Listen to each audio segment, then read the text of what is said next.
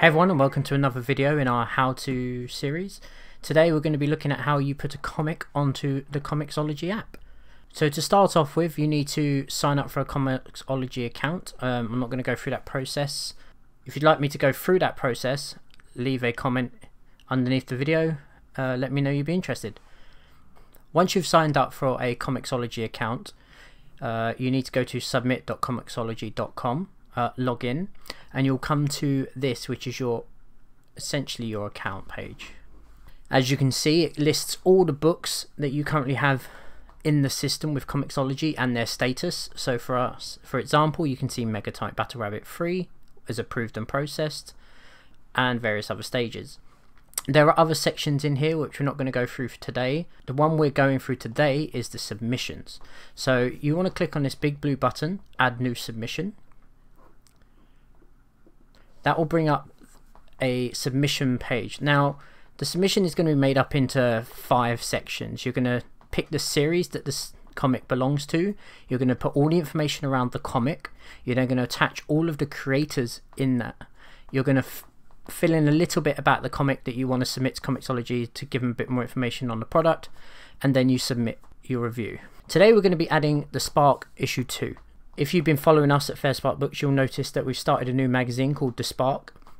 Issue 1 came out in October last year, and issue 2 is just gone off to the printers today as of recording this, and we're super excited to get that out to you all. So thank you to everyone who's pre-ordered.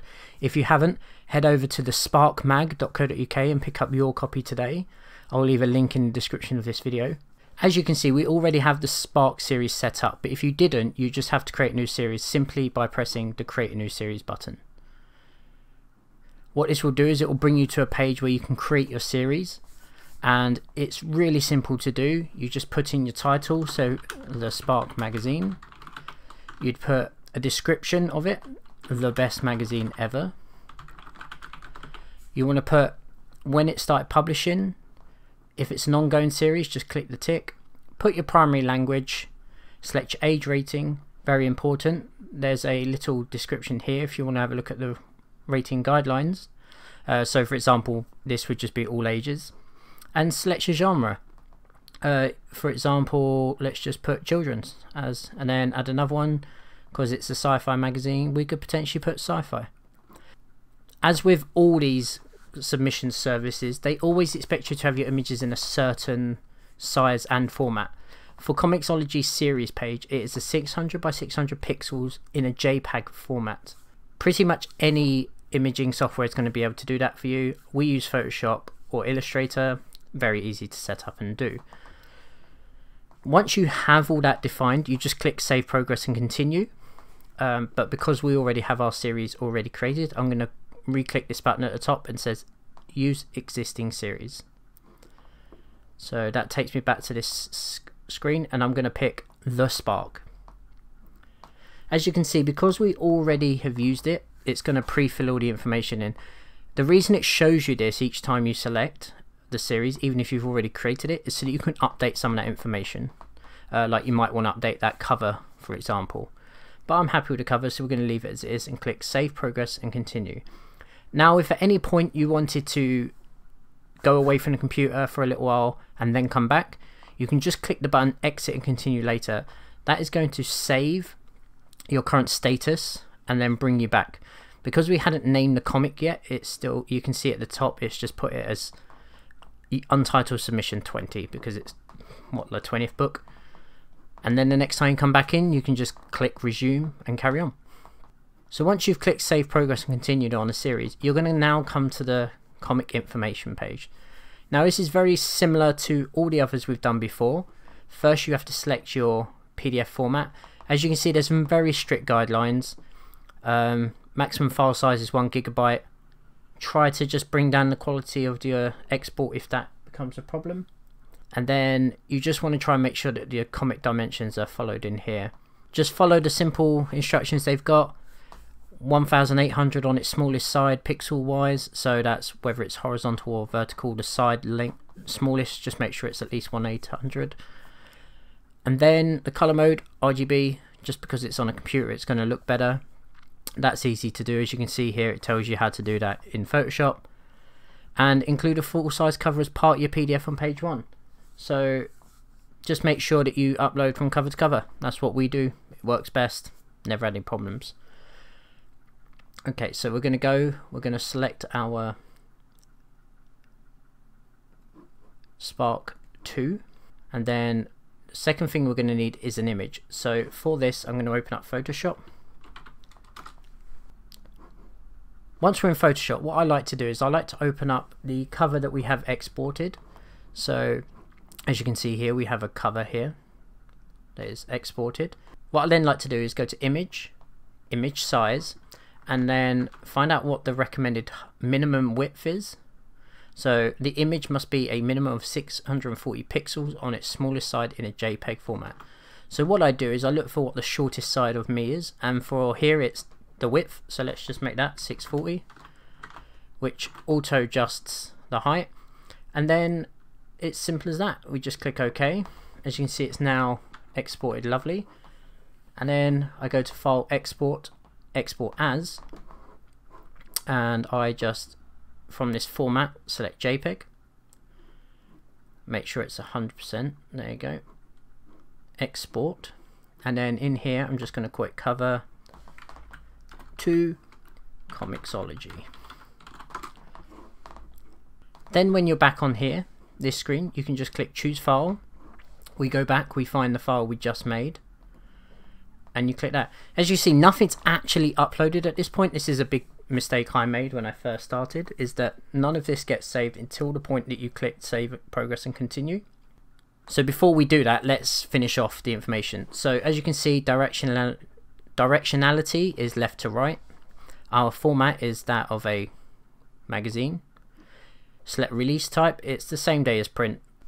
Selecting the release type allows you to say whether it's something that was already released ages ago, it's going to be released same day as a print, it's a digital first, digital only, it's your preference. I always put same day as print. The comic title is The Spark. This is issue number two. Next thing is the description. So if you already have your description, just paste it in. Otherwise, write one out for the magazine or comic in your case. Um, SKU, if you really want to put one for, this is like tracking the payments of stuff against a SKU number in your own system.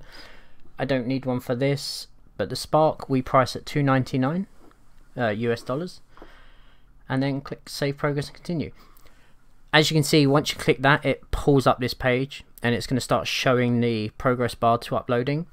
Because it's quite a large file, it's going to just take a minute, and it's going to upload the PDF and the cover image. So we'll just wait for that to be done. And there we have it. Once the pages have uploaded, it will bring you to the creators page. If it didn't, that's because you did something wrong and it will show you the error message. For example, it might turn around and say the file format you attempted to upload is wrong or like they mentioned, the file is too big, over one gig. So now we just need to add all the creators that are instrumental for making your comic or your book or your magazine. And there's two ways of doing that. First, you just use this search button for find a creator. For in our case, Rob Barnes. We'll start off with him. And uh, just out of experience, I know that it's the second one. But you're going to get a list of the creators that already exist on the platform. So this means that they've already been added to the database, whether that's via another comic, another publisher, anything like that. In this case, Rob Barnes, for example, we would just click him. You select a role. In this, he's an art writer. He basically made a whole story. I wish that um, they had an option just for a full creator, but they don't. Click save. Oh, I need to delete that. Need to save. And then it's going to add them to your creators list. Now, if you were adding someone that you couldn't find on here, for example, if we just search my name, it should be on there, but for some reason it's not it's not appearing, which is weird. Um, because if I bring you up to the Spark 1 page here, you can already see that I'm I am on the list and you can actually see me as a creator. So I'm not 100% sure why it's not appearing in here. But when I first added that, obviously I didn't exist. So what you do is you click the blue button instead, which is add a new creator. And then you go through the same process before, add a, a first name, last name, select you don't have to do fill in all of this the only thing that's needed is the first name you don't even have to upload an image and you need to select at least one default role. And then that's it. You save progress and continue. And then the next time you go back to creators list you can then search for that person. Not sure why that's not showing up for me. I'll look into that. But I'm going to go ahead and add all those nows and I'll get back to you in a minute. Not sure why all the names not coming up at the moment, so I'm going to have to reach out to Comixology and just get them to copy over the creators from the first issue. Some reason, all the ones I've added don't seem to be appearing. So until then, we'll just carry on, and I'll get them to add it after the fact. The next thing you do is just click continue once you have all your creators lined up, and then you can do a little tell us about your comic. Uh, I'm going to actually put in a little request here about updating it so that all the people are the same on here as that were on Spark 1 so that them crates can be added.